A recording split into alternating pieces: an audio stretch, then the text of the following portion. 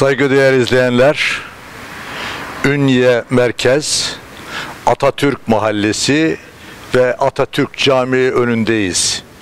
Bulunduğumuz alan aynı zamanda da eee kabristanlık.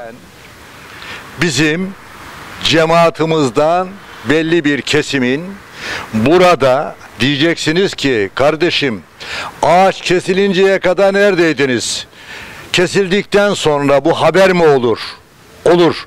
Bundan sonra aynı hataya düşecek insanlara ibret olur. Niye? Buradaki ağacın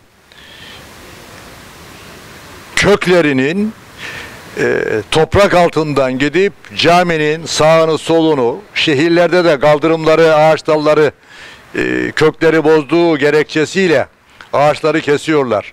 Aslında onlara önlemi farklı almak lazım. Çünkü ağaç oksijen deposudur. Neticede insanoğlu için hayat kaynağıdır. Buradan bu ağacın kesilmesine vesile olanları gerçekten yapabileceğimiz tek şey ağaç kesilmiş, yeri bile kapatılmıştır. Allah'a havale ediyoruz.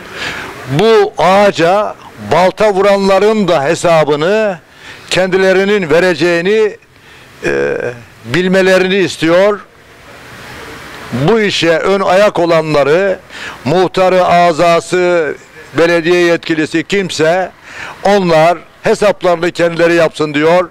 Saygılar sunuyoruz.